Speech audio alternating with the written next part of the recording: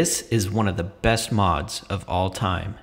Ultimate Firefight Sandtrap, created by Weaver 900, uploaded by Nade Massacre 117. I've been playing this mod after each update, and it's very humbling seeing how the creativity and execution coincides. The way you select your armor is brilliant.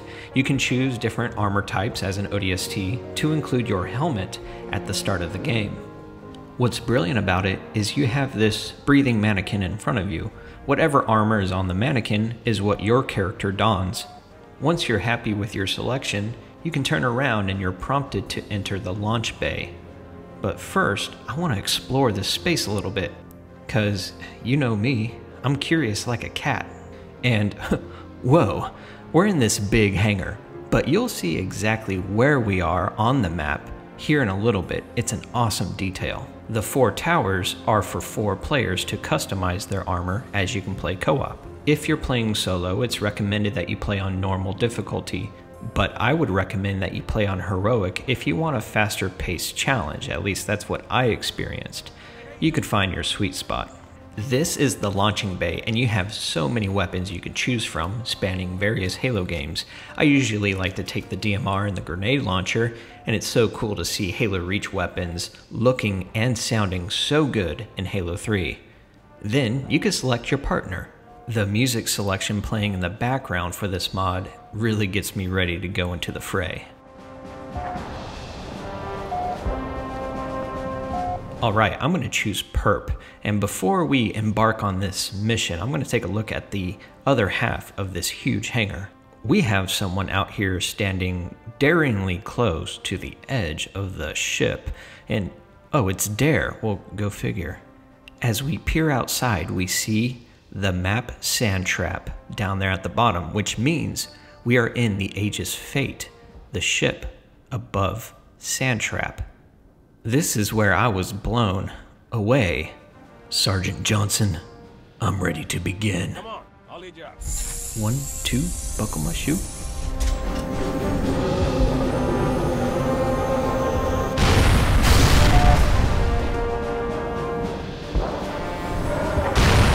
Round start. What an entrance. And each time you play this, you drop in random locations. Therefore, it's not the same experience every time. And always look out for where your partner is landing.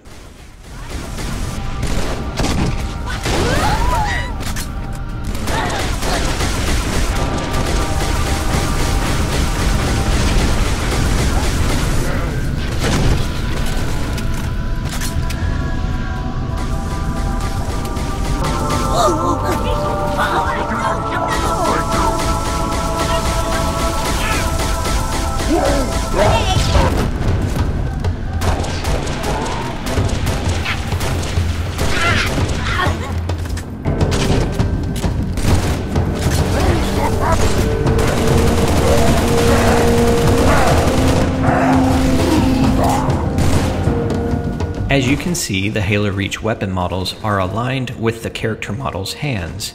The weapon's foley is solid, and it helps make it satisfying to use the firearms. You'll notice as this video continues, all of the weapons and character models ported over into this mod. It's really quite amazing. On the Nexus mod page, where you will download this mod, you can see the creator giving thanks to all of the other modders out there making this awesome mod possible with importing character models and weapon models. Alright, our first selection screen. What a cool reward system. And it's not just a black background, you have this gorgeous vista in the back looking all Halo y. Oh, shucks. And whenever you select a vehicle or a firearm, maybe a group of Marines or a group of Spartans, you'll see this pelican swooping in to drop off what you ordered and it flies towards you. It's not just one drop off location on the map. You also get to see the beacon from across the map in case you're playing co op with some of your friends.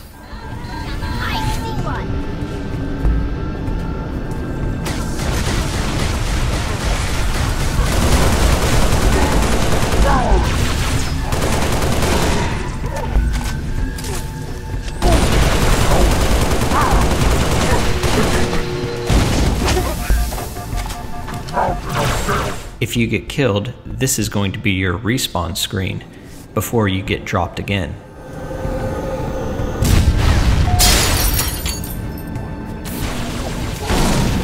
You can revive your AI partners, heroes, and your co op friends. In co op, this will preserve the amount of lives that you have for each round.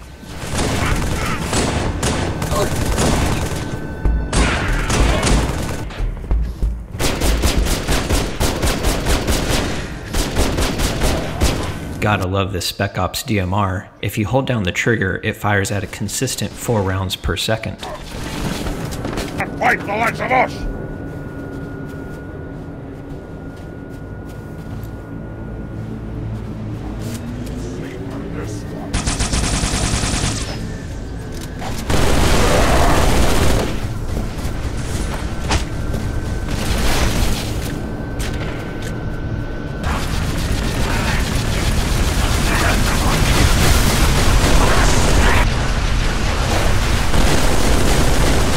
Whenever you respawn, you do not get to choose which weapons you start off with, and since you don't choose where you land, it may not be very favorable.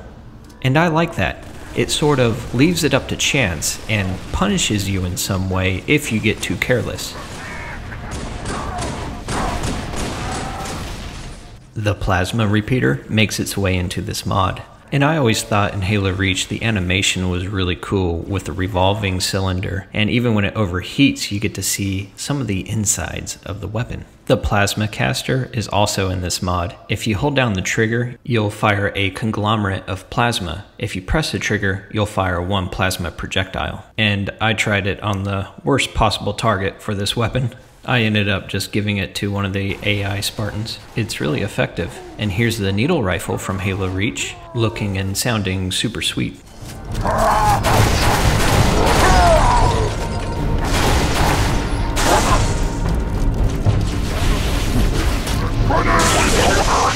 I typically like to have a Pelican drop off some Marines and then get a Warthog, which does come with one driver. I always enjoy hunting around with a group of AI companions, and in this mod, you can accumulate a lot of AI allies rather quickly. Are you even fighting me?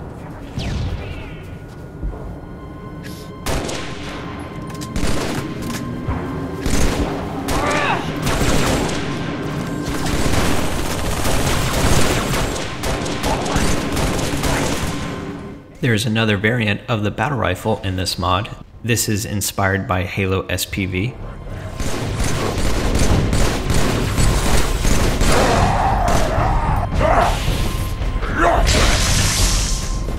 It fires two rounds, and if you're zoomed in, it fires a single shot. This is the Insurrectionist faction that's firing at us right now. We can make some quick work of them. Oh, hey, look, it's the enemy! Time for medicine!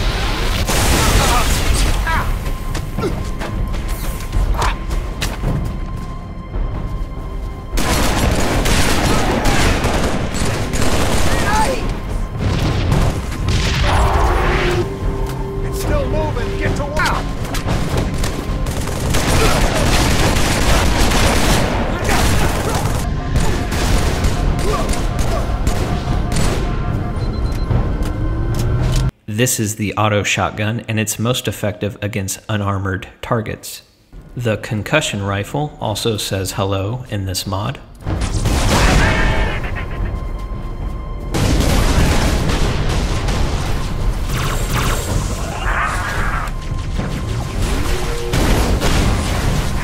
Some like it hot, so you can use a magma pistol.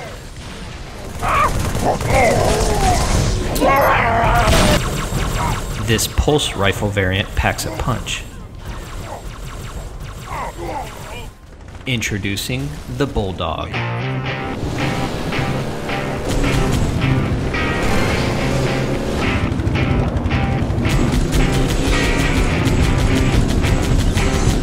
The Gatling guns on the Bulldog are effective against airborne targets.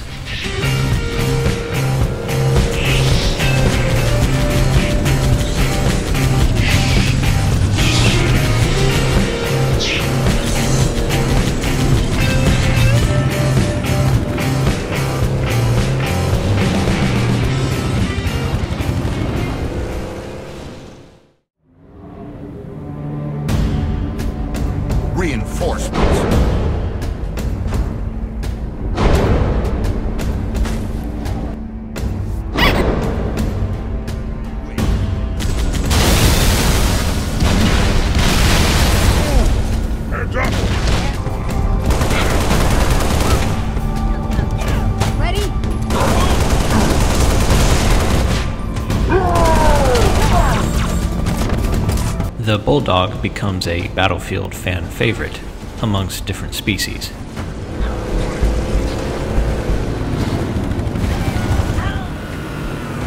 I'm glad to see you, sir. When you enter this Warthog, your camera will automatically go into a first person view, which is so cool, harkens back to Halo Combat Evolved, and you can actually reload your weapon without your character getting out of the vehicle, unlike in Halo Combat Evolved. This is such a visceral view, even if the AI is not the best at driving.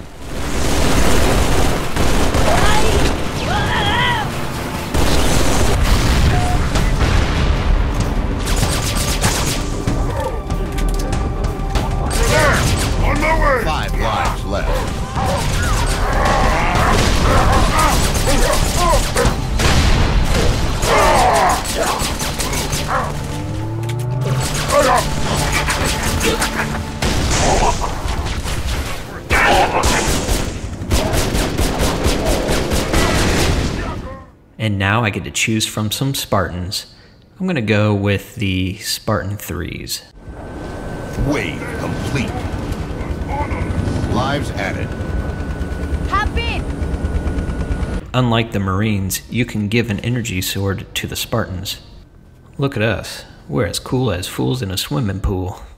This whole map is like a playground, and I like how there's a direction to the battle that's taking place. It's not a bunch of AI just scrambled about in a map.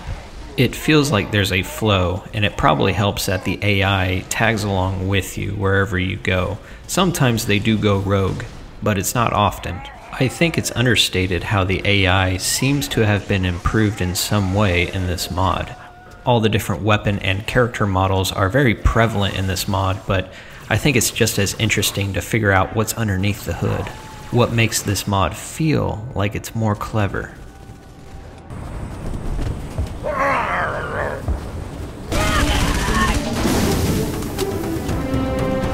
Here's an awesome rocket hog that fires three rockets, each pull of the trigger, until it has to reload for a few seconds.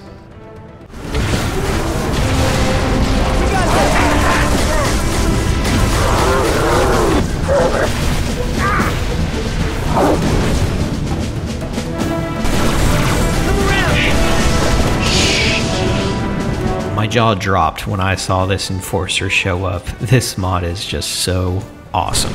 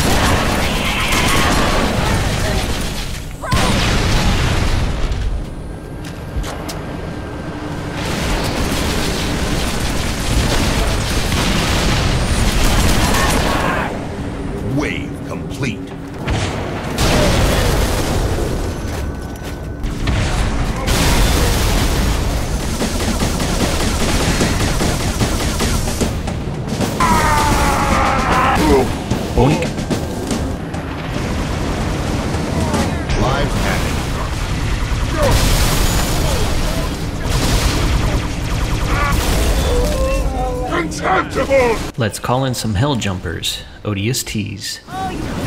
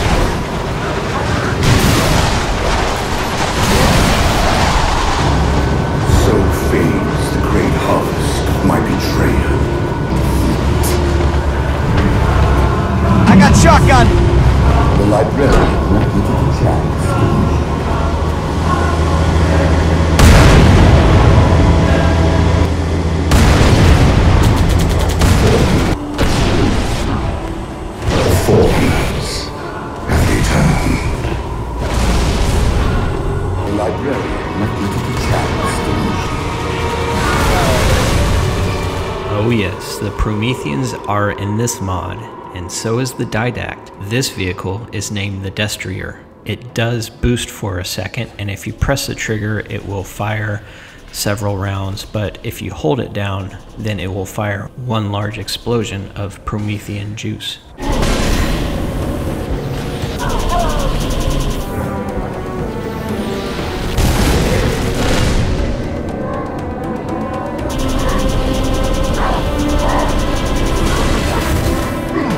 Hey, Perp found the Bulldog. Even your allies, much like this ODST here, fancy driving the Destrier.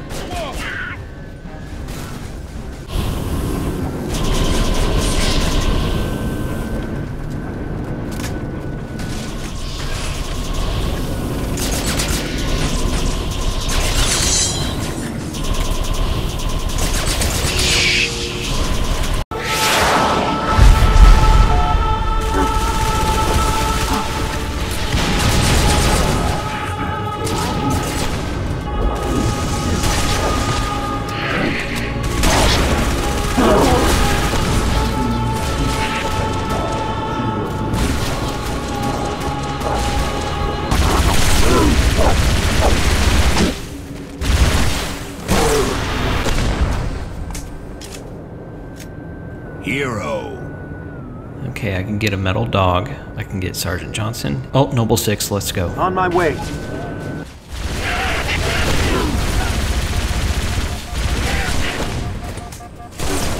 Noble Six, you did survive.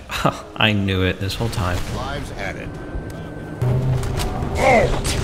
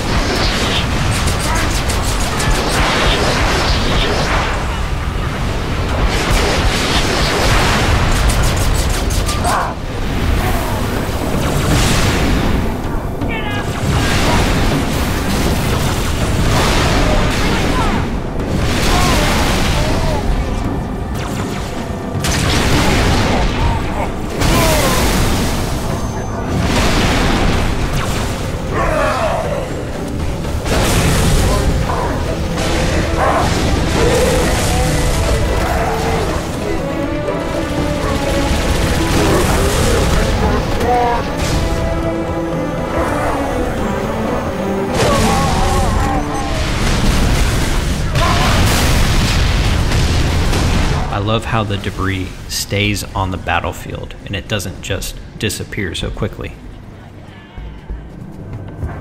Oh my god, what is that? You see that?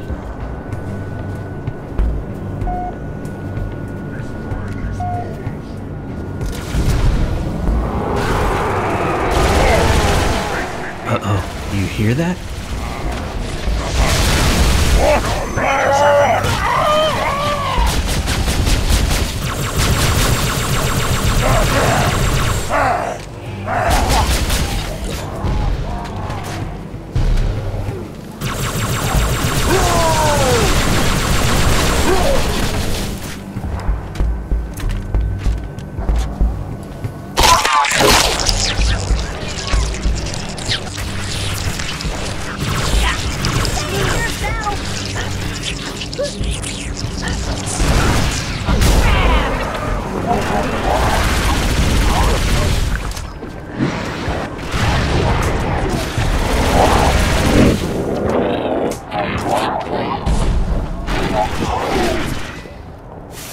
The flood tanks and juggernauts are difficult to put down, but that's the least of your worries.